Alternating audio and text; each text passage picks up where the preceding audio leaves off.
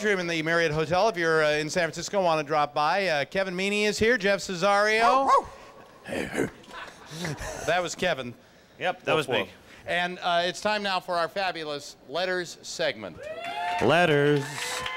Oh, we've got letters. We've got letters every day. He remembers. Mailman, mailman. Zoom, zoom, zoom, zoom. Righty, righty, righty, roo. Is this, uh, what, what news program is this? uh, Bob uh, Bob Vila is uh, this old Boy, house. this is professional. Very professional. Here, I can use his light to read some of these letters here. Uh, Dear Alex, although they couldn't be here, our friends on the USS Roark station. What are you doing, the whole Navy? What is this? Uh, Treasure Island are your biggest fans. Their ship ID number is FF1053. Oh, yeah, same as our frequency. I get it. Oh. In fact, uh, uh, they uh, while on a cruise to Alaska, one of the guys, Dave LeBear, did a broadcast for the ship and used 105.3 as the frequency. What's the frequency, Kenneth? Uh, the uh, the ship was being decommissioned in December, so you should give them a call while you can. All the guys are listening, and uh, they have a number on the ship. Yeah, you know the number on the ship. Let's Good, them a very good, call. girls. That's cool. I don't have a phone today. We don't have a phone here No. at, uh, in the atrium? Dear Alex, I was down in the Atrium? Atrium. So, sorry. I Can need you another cup swim in here? I didn't know. Dear Alex, I was down in the lobby and spotted Rush Limbaugh leaving the building. At least one of the Danishes are uh, safe. Okay. Timing. Timing. That did not timing, say that. Timing. Yes, it did. Dear Alex, my girlfriend has only been in the country three weeks and she's having trouble with your wordy jokes about kosher food. Where, where is she? they split? Oh, really? Uh, so if you're one of the high, what is, what is this word? Oh, high-powered funny men, because you at least one joke in German, it would take her, make her day. Why, she's German? And she doesn't understand a word of English? She understands, uh, do you want to go home and sleep with me? She understands that. And you understand Danke Schoen. Yeah. Danke Schoen. Whoa, Danke Schoen. Danke Schoen means I love you, dear. Sing it, Wayne. Danke Schoen. Oh, Danke Schoen. Sing it, Danke Schoen. Danke Schoen. I'll sing that crazy song called Danke Schoen. Danke Schoen. Oh, Danke Schoen. Huh, huh. Danke you. And you'll danke me. Shut up! Whoa. Strike a pose, Vogue. What's love got to do? Got to do with it? Mr. Meaney. And you woo. Mr. Meaney? Climb up on my knee, sonny boy. Oh, you're Mr. only Meaney. three. sonny Kevin? boy. Kevin? And when the angels, Kevin. they grew lonely. Kevin?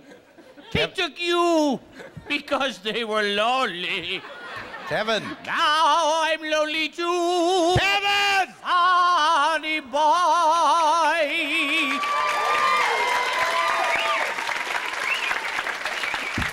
I hope Still you know, one of the most popular songs in America. You, you- I hope you know you've spoiled what is my signature piece. Letters. Alex can't read the letters because Kevin Meaney's singing like a crazy person. He's a booty man and a big Do. I come up on stage and interrupt you while you're saying those tight pants? No, Uh, no. I don't do that. Let go. Let go. I'm going to write a book called Grab Hold. Grab hold of my area. Touching You're- myself. Dear Alex, the weather is beautiful. Wish, uh, weather is here. Wish you were beautiful. Just kidding. Really love you so much it hurts. In case you didn't get the invite, please come to Bobby McGee's in Burlingame for our VIP 20. Is this a free plug? It's Bobby McGee. You're from Bobby McGee's? Me and a Bobby oh, McGee. Oh, really? Waitresses over there? Who is that? Oh, really? 20th anniversary celebration. I wouldn't be reading Me the rest of this. They weren't so damn good looking. Shut up! Just shut up! I'm on crack. I'm all cracked up. Taking crack at Live 105. What's wrong with you? the, the celebration's on the 18th, and you can tip me big time. P.S. We're looking for new management. Interested? What are you, hookers? What, what is this? You're looking for new Let's sing the penis song. Let's sing the penis song. No, no! Dear Okay, let's sing don't song. encourage him for crying out loud. Is this some sort of LAPD video? What is this guy doing over here? Dear Alex, just happen. wanted to write and let you know in person how much I miss, miss, miss you at the San Francisco Mart. Oh yeah, we moved out of the Furniture Mart. Uh, who is who's who wrote this? Oh, oh, what, what do you do? What do you do over there? Huh? What? Oh, you ra- manage one of the showrooms. Yeah, we're not over there anymore, so I should stop by and visit sometime. Maybe a nostalgic round trip at the Mart Bar and Grill. Poppy seed muffins on us. Yeah, we're sorry we're not there anymore, but I hope you got the roaches. I think that would be very nice. Hey, let's send him to Rush Limbaugh. Wait a minute, wait a minute. What did you mean by that exactly? Uh, Kevin doesn't need to mean anything. Kevin just outbursts. flows. I'm silly. You see, that's the beauty of my style of comedy. That's the point of your act. I can say stupid, silly things. Such as. Well, you mentioned food, Uh, roaches in somebody's muffins. So I said maybe, Roaches in your muffins. Hey, that's a new song. Yeah, roaches in Roaches in your muffins. your muffins. Al- Alexi, Alexis. Oops, that's Joan Collins. Who, whatever. Where's the rug? I bought a hairpiece. No. Why? You look great. You don't need a hairpiece, man. Hmm? Ah. He's wearing it now. I Does Rick Reynolds wear a that- hairpiece? Does Rick Reynolds wear a hairpiece? Yes. No, he has plugs. That's the truth. Yeah. And I just want to let you know that. It's a little in joke. You don't have to laugh. No, you Dear don't have Alex, to it's laugh. just Oh, me. Oh, they didn't. Doesn't matter. I'm having fun. Is it just me, or does Judge Clarence Thomas sound just like Al Franken? It's just, Just you. him. Just you. Yeah. Just him. That is Al Franken. Mm-hmm. Or did you see him in the paper the other day? He had his hand up, kind of like this, you know, and his hand on his stomach. He, he looked like one of the pips. It was a great thing. Uh, let's see here, dear Alex, when uh, when are the shrimp boats getting here? Where do we go to greet them? Will there be parades? Will the kids be let out of school? Will the department stores have welcome shrimp boat sales? Will there be plenty of hookers for the salty sea dogs on board? Shrimp boats are coming. Signed Elmo. Dear Alex, ditch the rug. You look much sexier without it. Marcy, Marcy, where are you? You look much he have a sexier without a rug on? hairpiece too. I think that that's. You're not I wearing agree. a rug now, I are agree, you? Marcy. I think. Uh, Where is your rug? It's at, it's at home. Oh, so you, you only wear it out, or I wore it out. oh, you wore it out? Yeah, I You wore don't, it out. You don't. I think your hair looks very good now. yeah. Normally, this is the hottest segment of the show, but my timing has been th- thrown completely off. I'll have you know. Oh, we got David Feldman. Well, that's certainly going to save the day, isn't it? Dear Alec, what do you mean? Oh, now you're taking pity on him? Miserable human being. I Dear always Alex, sing, since uh, I'm here so early in the morning to see you, can I have some tickets, a T-shirt, anything? The- Is the orange juice free, or do we have to pay? I didn't pay for mine. You don't look 50. Your workout becomes you. You look good. What does your significant every other day girlfriend think of your new and improved look? Do you still have a girlfriend? Who sent this? What brain damaged human being? You just want lots of free stuff, huh? Oh, okay. Here. Come here, boy. Come on. Come on. Come on. Come on. You want the t-shirt? Come get it. Come get it. Come on. No, come on, get it. It's yours. Come on, it's free. It's free. Come on. Come on. Come on. Come on. Okay, wait a minute. Well, watch. Should be here in a second. I'll give you a CD. A CD if you come here and get it. Come on, boy. Come on. Okay, wait a minute. Wait a minute. Hold on a second. I'll give you. I'll give you a second T-shirt. Okay, I'll give a T-shirt to every woman at your table if you come get them. Come on, crawl on your knees. Crawl on your knees. We want you to crawl for them. Crawl for them. Now, now bark like a dog. Wow. Now this is the kind of game show I can understand. Each take a T-shirt, will you? And take a CD. Let's hear it for them, people.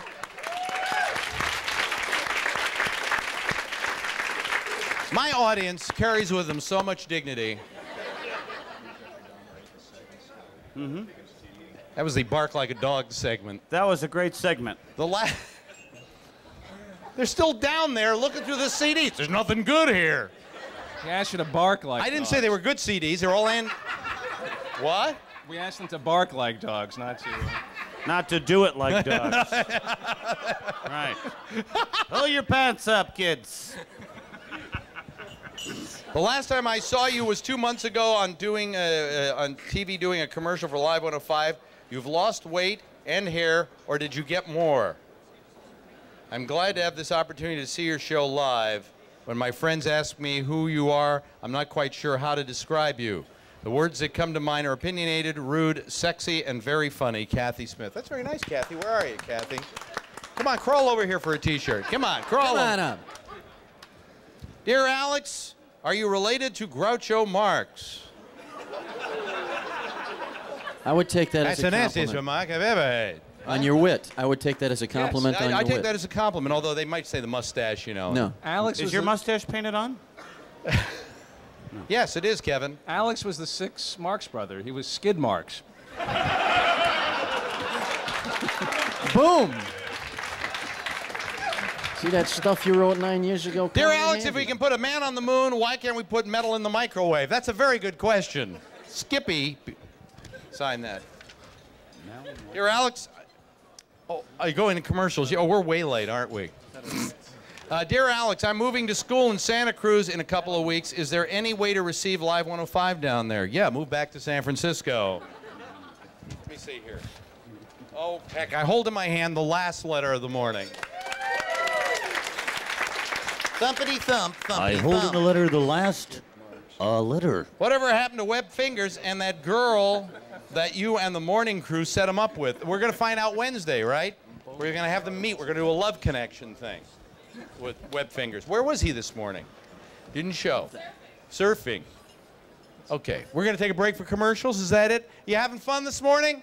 We're here in the atrium of the Marriott Hotel. We'll be right back. Stay where you are.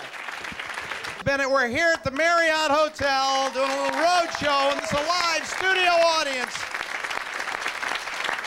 at the National Association of Bottom Feeders. Uh, gosh, you've been a good audience this morning, and this is a strange, this is a strange room, isn't it, Kevin? Kevin Meaney, ladies yeah, and it's gentlemen. weird. It's definitely weird. That fabulous Meaney family, America's lovable TV family, That's right. And doing an Who's off the air forever and ever? It's Uncle Kevin, Buck. Kevin and who, Meaney. who uh, uh, you, but you have an HBO special HBO special coming up October 19th on on HBO, 10:30 p.m. That's what spot on the dial? I don't know what channel would be here. People ask you that, but I, I can't tell you. Oh, It's 22 Could you where I come live. over to my place and tune it in for me? Uh, sure. Okay, good. And Jeff Cesario, Jeff Cesario, ladies and gentlemen. Oh, thank you very oh, By the way, Kevin's at the other. Jeff Cesario, Tommy T's in uh, in San, San Ramon. San Leandro. David Feldman, largely unemployable. You can catch me on every after minimum cable TV show.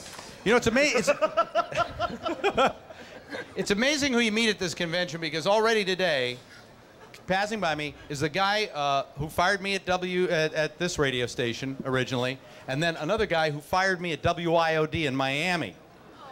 So that that. Alex, I Hey, got some don't news feel- for you. Don't, don't boo him. He still has to live in Miami. Okay, I think that's. Alex, we're going for the hat trick. Then, all of a sudden, like it's some kind of flashback in my life. A guy comes up to me, and says, "Hi, hello, you remember me?" And it was Bruce Williams, who's on uh, the NBC network. And uh, the reason I remember him is because we worked together at WMCA in New York. And a few years ago, I went back to WMCA in New York, and there was this picture that was taken of all the people at WMCA in New York. and it was like uh, me and Sally Jessy Raphael and Bruce Williams, and they had put me on the periphery of the picture. And I looked at all the other people who were on the periphery of the picture and said, I bet we're going to be fired in two weeks. And sure enough, two weeks later, we were out. One other person was in that picture, and here he is, ladies and gentlemen, Larry King. A seat, Larry. Here, here. Morning. Thank you. Do you, uh, Thank you. Do you remember that? Do You remember that picture? No. We were all standing there with telephones in our hands. No. But I, I, uh, I'll answer any other question but that But it was amazing. You, Sally Jessy Raphael, I remember Bruce being, we, when, when we started on Mutual in 78, our first New York outlet was WMCA, but it was so uh, brief because we went over to WOR in about six months. I think we were on MCA six months, maybe a year. Yeah. And then we were on OR all those years. But I, I remember that.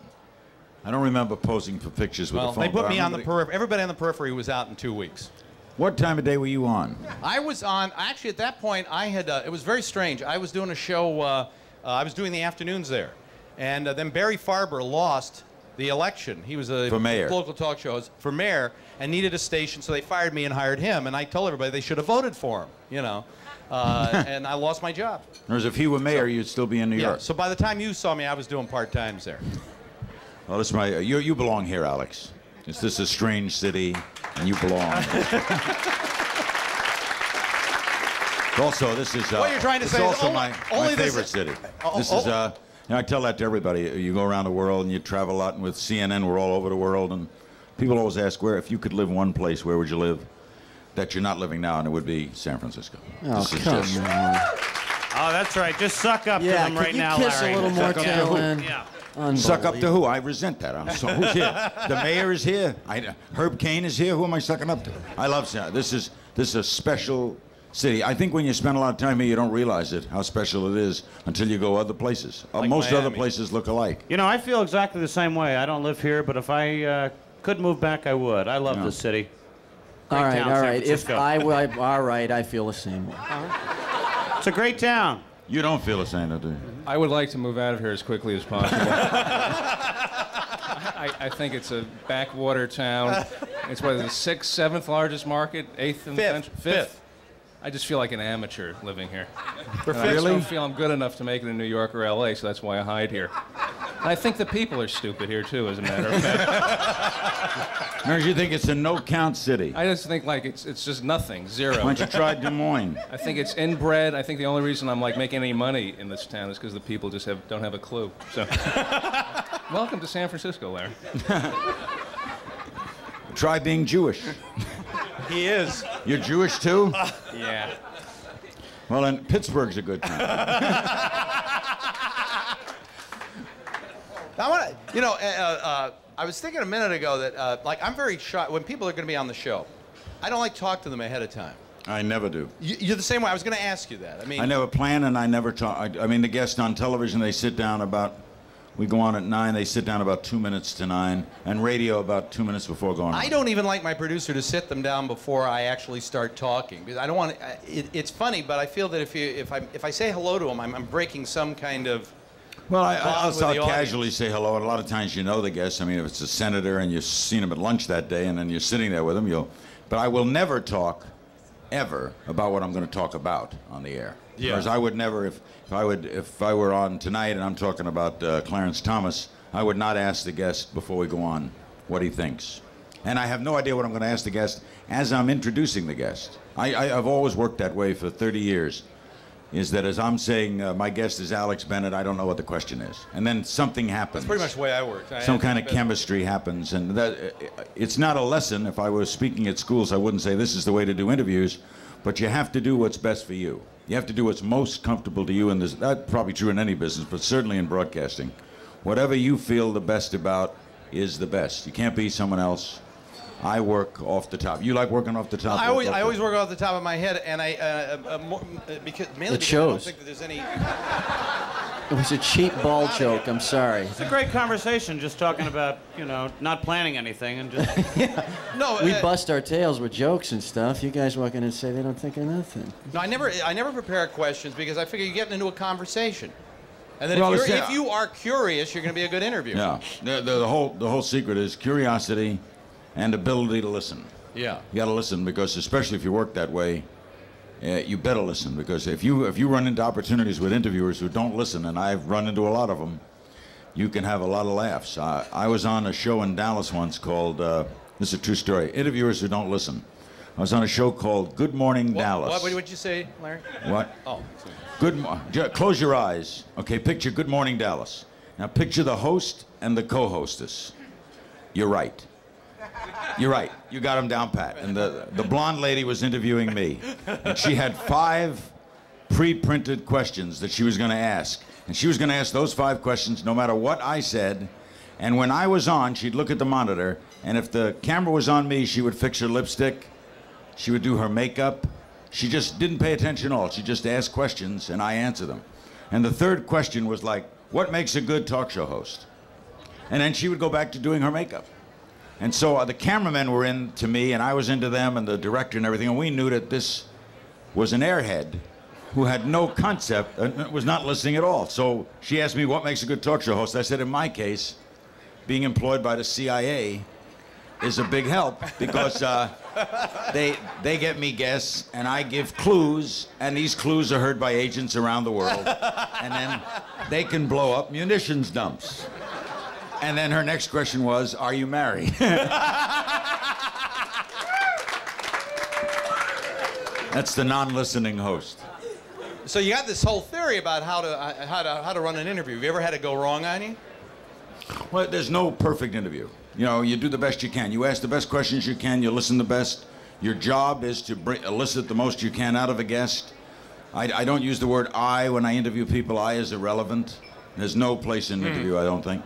My opinion of your movie is immaterial. It's your movie that counts. The guest counts. Sure, you can goof. I, I had a, I did a whole two hours once with the president of uh, Apple Computer, and uh, we talked about the founding of Apple and how he got to be president. And I never asked him. He got hired by the the original founder and fired the guy who hired him. He wound up being Sculley. president of the company, Sculley, and fired Jobs. I never found that out till the last phone call. Ask why I didn't ask that, and that never came up. Sure, you're gonna you're gonna miss things. That jumps out in my mind. No one's ever done the perfect interview, but I love. I think the first thing is to love it. I love the exchange. See, like right now, I'd like to be asking questions of everybody here. I would like to do a show where the the curtain opens, and that's where we all learn the guest. I don't care to know the guest. I'm, I'm exactly the same way. I like exactly that. the same way. Uh, uh, but You uh, guys are very much alike. I'm out for his job. Don't tell him that. Anyway, now, uh, uh, but the, um, who, you know, I'm not saying that I don't want to put you on the spot on this one, but the fact is that some people, no matter how nice they are, no matter how decent they are, sometimes they're just terrible interviews. Yeah, well, then Really terrible. They are. So Some I'm- people are not. I got to ask you who's the worst. Most mo- most people who go on on shows are pretty good. If you're going on CNN tonight on a show that's going to be in 102 countries around the world, you're probably a pretty good guest. The producers have talked to you.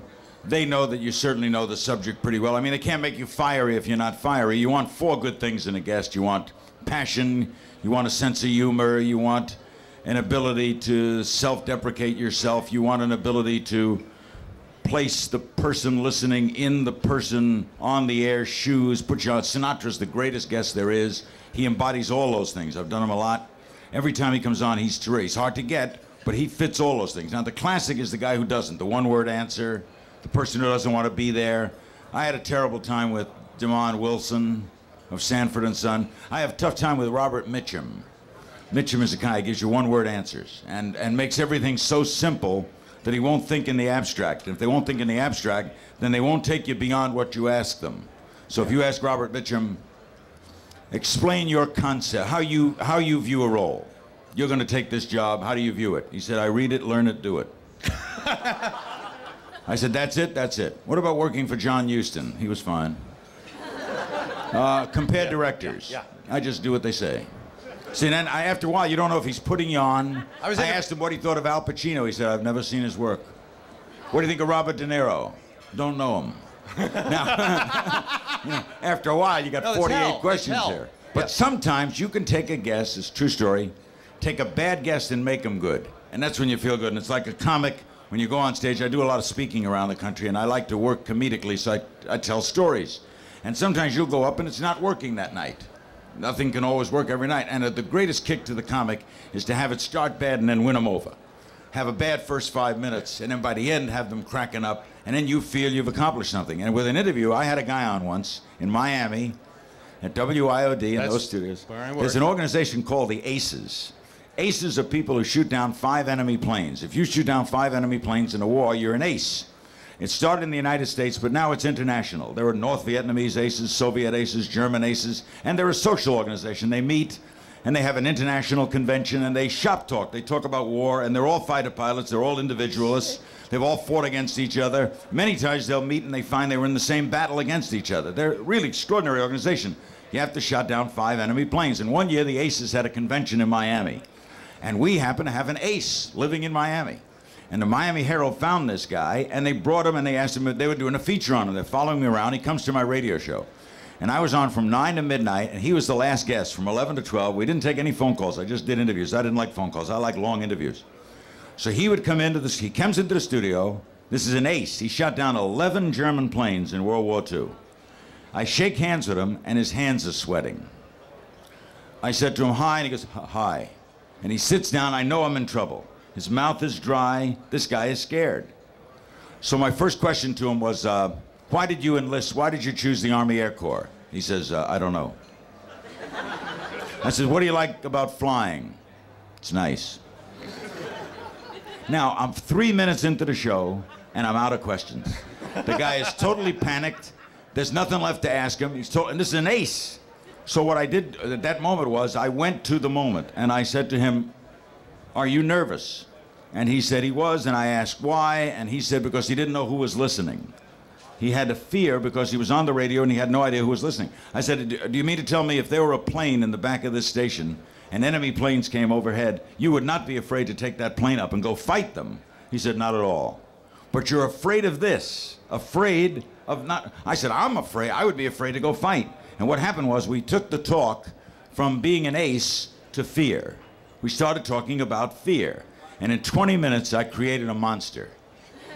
20 minutes after 11, this guy is doing things like, We dove out of the sky at 4,000 feet. Through the clouds, the sun burst. I could see the edge of the airplane gleaming off the side of their tongues. I saw the fierceness of their. By 12 o'clock, they had carry this guy out of the station. I made him show business. Can you stick around a little more? Yeah. Larry King's with us, ladies and gentlemen. We'll be right back. Welcome back. I'm Alex Bennett, and this is a live studio audience here at the Marriott in San Francisco, here at the National Association of Broad- Broadcasters Convention. Kevin Meaney is with us, Jeff Cesario, David Feldman, and Larry King is here as well. You know what I gotta say is difficult? Interviewing an interviewer. Sure, because they do the same profession you do. That's why a lot of people think, boy, if I'm going to have a good convention, if I've got doctors, I'll get a doctor to interview them. That'd be the worst, because a doctor ain't going to be curious. Yeah. The thing that makes an interviewer good is that he or she is curious about a whole body of things. And one of the things you're not curious about is Is interviewing. exactly what we're talking about now. You're not curious about radio because you know radio. So you're not going to ask questions about radio style because you know radio Yeah. style. That's why often if you see sports events, and uh, Sandy Koufax quit doing baseball because he once was on with with uh, Bob Gibson and he found himself. Bob Gibson had just pitched a no hitter, and Koufax was explaining to Gibson what Gibson did. Yeah. He wasn't asking questions because he wasn't curious. So that's why it's hard. Now you're a big sports maven. Big. And I love sports. Did you always want to? Did you always want to baseball? I thought I wanted to be a baseball broadcaster. I, I, I would. I wanted to be Red Barber. I was a kid and I used to listen to Red Barber and Russ Hodges, who later came out. So where did it go wrong? I mean, what, what's I went to Miami and I started. And I went to Miami, I yeah. was in. I love Miami. I spent 20 years in Miami. I started in Miami. And I, my first day on the air was in Miami, and I thought I'd be a sportscaster. And then I got a show like this. It was at Pumpernik's Restaurant. I was doing a morning show, and the owner of Pumpernik's, Charlie Bookminder, liked me and he liked my style. And he said, "Would you like to do an interview show in our restaurant every morning?" And it had no producer, and so I had no training to interview guests. We had no guests booked. I would take people right out of the audience, and authors started coming in, and that show caught on. And Bobby Darin came in, Jimmy Hoffa, Ed Sullivan, Danny Thomas. They just dropped in. They were never booked. It became a coffee clutch scene, and the Miami Herald did write-ups on it. and it caught on. I got television almost immediately. I got a, uh, a nightly television show, and I was doing both, and I've done both all my career. And I knew early on that that's what that was a niche. If you can interview well, you have a special niche. A lot more sportscasters than interviewers. But I some, liked it. At some point in that career, it fell apart. In 1971, I, 72, I lost both jobs. I had outspent myself. I was forced into bankruptcy. I was living on an ego trip. And then I uh, did some writing and came back on the air in 75. And then in 77, Mutual had this idea for a national radio talk show, which no one thought could work. In fact, I even doubted if it could work. But I moved to Washington, and that show caught on. His- It was, it was the right time because AM radio was in trouble. AM was starting to fade, FM was coming up, and AM stations were starting to scrounge and look for things to do, and talk was one of the things that AM can do better than FM. Do you think a down period made you appreciate what you got now? Oh yeah. The best the best thing that ever happened to me was losing work makes you appreciate work. For example, the best thing that ever happened to me in my life was having a heart attack early. I had a heart attack in 87. Wow, I Some gotta, people have all the luck. yeah, I gotta try it. Well, it got me to stop smoking, lose 30 pounds, be conscious of what I eat, be weight conscious. I just passed an insurance physical that shows I didn't, didn't even have a heart attack. So that you know, so sometimes you can make adversity terrific. You can make adversity work for you if you use it. Whereas if you take the down Yeah. period and make it up. In fact, everyone I've pretty much known has had major down periods. Oh, absolutely. Yeah, and the, the down period helps you when you you don't learn anything when you win. You learn a lot when you lose. So Don Shula told me once. He's really right. I, I, I, I've had a theory during my life is you hang out with losers. And you learn about losing. That's why I hang out with Feldman, for instance, as an example. Well, guys who lose a lot tend to drift together. Jack Paar told me once. You know, people he'll walk into a restaurant, and there'll be six or seven television hosts sitting in the corner saying, "Who is he?" They're losers. You know, if you sit and worried about guys who make it, and there are a lot of people in the radio business Yeah. who have a losing mentality. There's something about radio. I don't know what it is. Yeah. There's a lot of guys. No, they really. They sit around and they just get up in the morning depressed. They're gonna hate the general manager before they meet the general manager. Gee, They- who would that be? who would we know on this dais? I'm as happy as I've ever been, damn it. Have you had that kind of life, Alan? I think for a while, yeah, but not now. I love my now. general manager. You love your. Well, not, Wait a minute, this is San Francisco. I have to ask that twice. He's been You tested. love your general manager. Uh, yeah, no, he's, he's, he, no, I, I, like, I like, I like, love the job. I love this audience. This is, this is, Well, this it's is the young, best part of it vibrant. right this is here. a vibrant, great audience. I owe everything I have today to them, and I'm going to get even with them for it sometime. Also, a lot of nice ladies here. Oh yes, yes, yeah. There are there are rewards to this job, huh, Alex? Uh, it's a nice job. I got into it for the records and the women, and I got a real nice record collection now, and I'm happy to have it. So Why do wha- these comics stare at you with such admiration? Do you really worship Alex? Is I'm he- exhausted. No, we're just we're out. Been I here got since I did a six this set at 5:45 this morning, Larry. So I these opened the guys- show. These guys are your fans. No, we're afraid of him. I'm the king of comedy here in this town. And Larry, great. I gotta go, guys. Glad Thank you could very come much down. for Larry doing. King, ladies and Alex, gentlemen. Thank you, Larry. We'll be right back.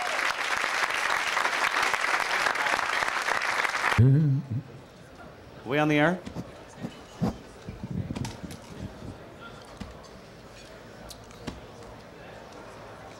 It's sort of like the heart. I'm Alex Bennett. This is a live studio audience right here at the Marriott Hotel in downtown San Francisco, here at the National Association of Broadcasting Convention. Kevin Meaney, television's lovable Uncle Buck. Thank you. Who's off the air forever? Canceled. But does have an HBO special coming up uh, next month. This month. October 19th. October 19th, called Kevin Meaney. Get that puss off your face special. And uh, next to him, Jeff Cesario. I'm actually a a- failed yeah. pilot at CBS. I'm actually television's lovable Uncle Tanoots. Would be my. And he's out. Oh, at so you know Danny Thomas? Yeah, You're correct. at the other cafe. Hey, other, How about that glass coffee uh, top uh, table? Is that true? I just hope It we is use true. coasters. It is true. I talked to somebody who works for. I'm at Tommy T's, NBC Kevin? Specialist in Holiday. San. Ramon. You are at the the other cafe. I told- Feldman isn't working. I told my mother about the glass top coffee table. She said, "Well, I hope he use coasters." Nobody gets that because nobody knows what we're talking about. Well, Danny would like to uh, get a. I, I don't really don't Now, want to you, say it. you don't want to stick around for our, our reviews No, because you always argue with. I always argue with this man. I appreciate discourse. Mm-hmm. So please, stick around. Okay. All right, I will then. Ladies and gentlemen, Who are you going to review today? We'll here with see. our movie uh-huh. reviews is Michael Snyder. Uh-huh. Yeah. Good morning. The entertainment Oh, that's your name. The entertainment Michael report Schneider. is brought to you by the Punchlines here in San uh-huh. Francisco and in Oh, Walnut let me just ask you one question. Are you Before uh, the plug or Are you the plug? hyping the punchline? Did you did you ever They- they put bought did you time. ever put down acts from the punchline? Why, certainly, I'll do that today. No, if you you like. don't. I try. All right, go ahead, All go ahead, go ahead. Brought to you by the Punchlines here in San Francisco, where you can see Kip Addotta, James Wesley Jackson, and Shyama, and out in Walnut Creek, Don McMillan, Alex Reed, and Greg Barrett. And I got to tell you, folks, if I seem a little groggy, I've been partying all night with Bowie, and uh, it's been a rocking good time here at the convention. Uh, Smoking the crack pipe? oh uh, have you been? God. A lot of crack smoking here You know, at as the a matter of fact, convention. Iman does all the uh, the copping. She does the copping, and David does all the smoking. And it's a groovy thing. It's a beautiful thing. Anyway, Cop and uh, this is what happens when you reach the top. And Bowie smokes the crack. It's a beautiful thing. He said it. I'm just. Uh, No, I.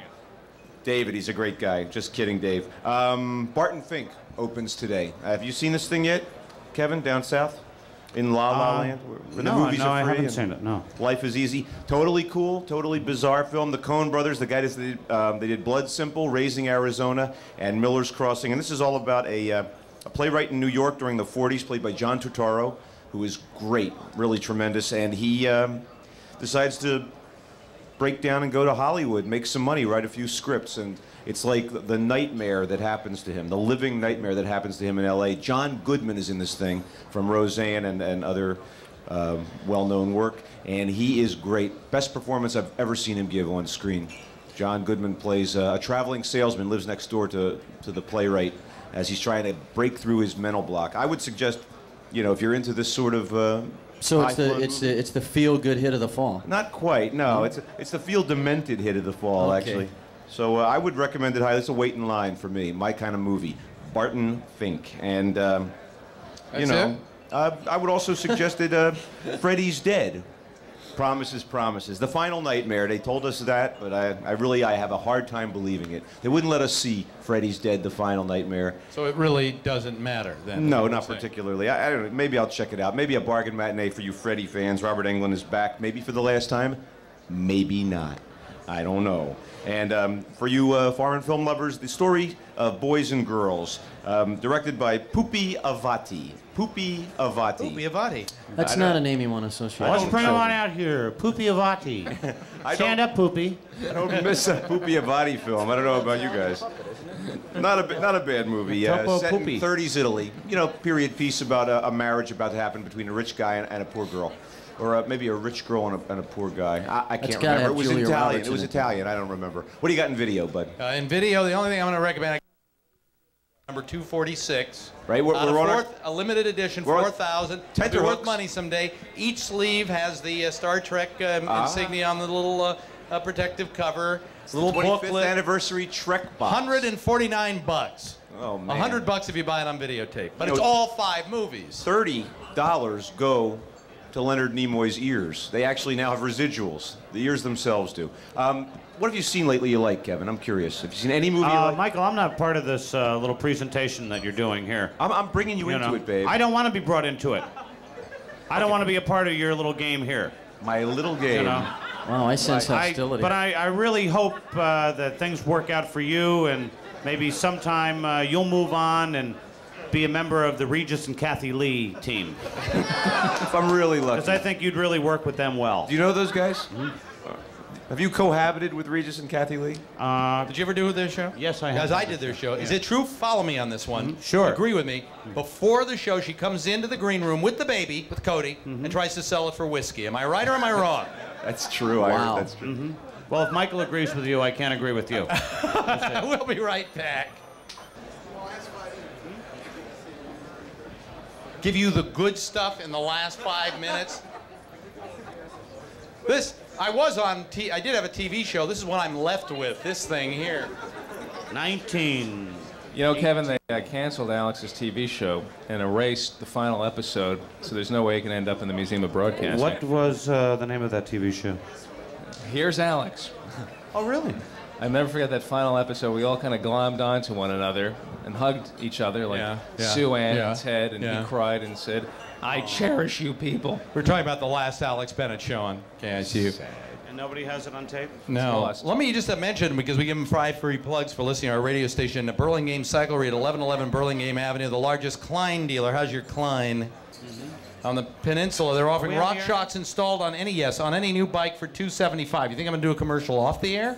I didn't know what you were doing. 1992 bikes are arriving, so we can make room for all the 99. So we can make room. All the 1991 bikes are priced to blow out, Including, uh, including Trek, Bianchi, and and Giant. and uh, trade-ins are always. Uh, Welcome. And uh, this week say Alex Bennett can't ride a bike. and get a free T-shirt with any. Purchase.